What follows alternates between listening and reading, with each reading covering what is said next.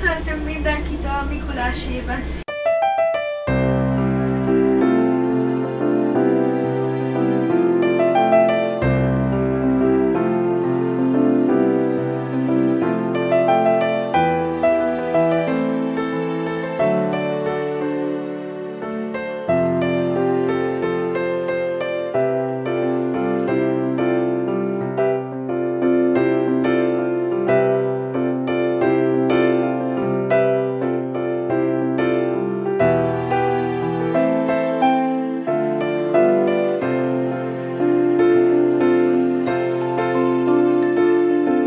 December 6-ai hétvége a MÁFÉV ZRT életében a családoknak nyújtott Mikulás élményről szól.